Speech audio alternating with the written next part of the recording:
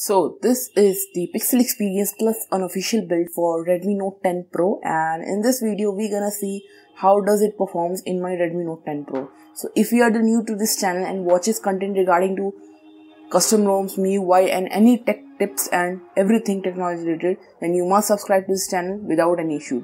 So let's get started to the video and let us see how much it performs damn greater. So now I am on Android version section as you can see it is based on Android 13 yeah, although it is an unofficial build but it surpasses everything and it performs damn great performance. It is equipped with the security update of March 5th and the kernel version of Phantom kernel is being used you can see that with a Thursday March 23 build over there and the build number is as mentioned over there.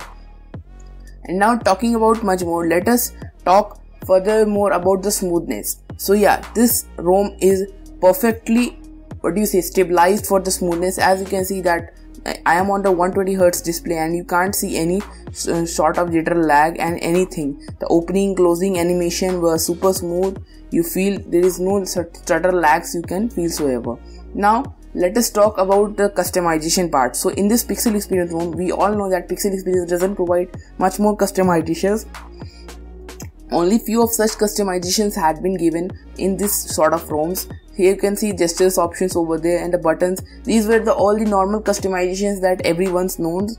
This is the status bar you can uh, use according to yours and there's thermal profiles. I will talk about the thermal profiles in the later part of the video so be with me in the video. Does it perform or not?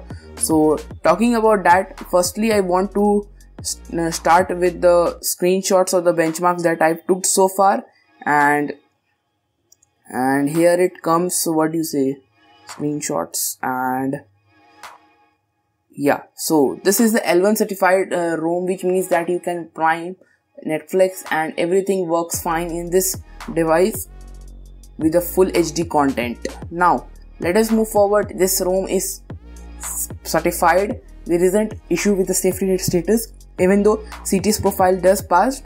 So no issues with those who are using banking apps Google photo spoofing is available. I already full 94% of the storage but still I getting much storage available. Now this is the benchmark result that I have took with the normal mode which means no gaming profile no optimization profiles of the device.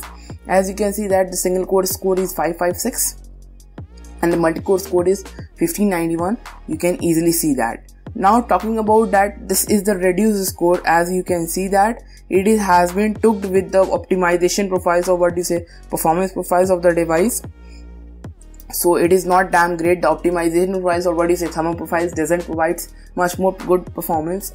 Although this is the wildlife test that i took so far and average frame rate is 6.80 fps that is so good i'm not happy with the slingshot extreme and OpenGL's 3 point test and also slingshot because if you can see that it only gives 47.60 fps which is not good. This is the storage speed test of the Antutu Okash. Now talking about the Antutu scores, you can see that 3,44,802 scores but in other custom ROMs apart from Pixel Experience the scores are getting greater. You can see that GPU is 97,874 and there is a 2.1 degree Celsius upper temperature with the 3% of the battery drop. That is all around okay but not happy with the scores. But all time I can say that scores doesn't matter every time with the performance. Now this is the CPU throttling test and I have been running through 100 threads for 15 minutes although it is uh, taken 14 minutes. But CPU throttle 88 performance max performance and the max is 153 GB IPS which is also good now talk about the charging stats as you can see that I have already talked about that so you can see that from 10 to 100% I charged my device for 90% and it took almost 1 hour 15 minutes. So 33 watt charging does not working fine. It charges slowly. So in my recommendation the charging and the battery consumption of this device is not good as you can expect. This is the MIUI camera and there is no issues with the camera application. There is aren't uh, what do you say green tint, blue tint, any sort of issues, the 64 megapixel is working. I am having the 10 Pro variant, so I got 64 MP camera. And if I talk about the settings and let us talk about the network internet settings. So we haven't faced any issues over there. I using it from the last three days and the connected devices option is there. Applications you by, by default gets the pixel launcher nothing new. Battery I already talked about. You can see the battery usage from here also.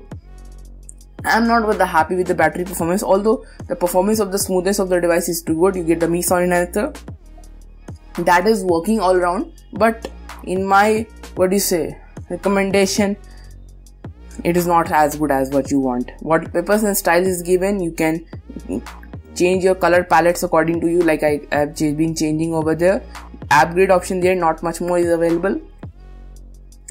And there is accessibilities option. In accessibilities nothing more new has been added.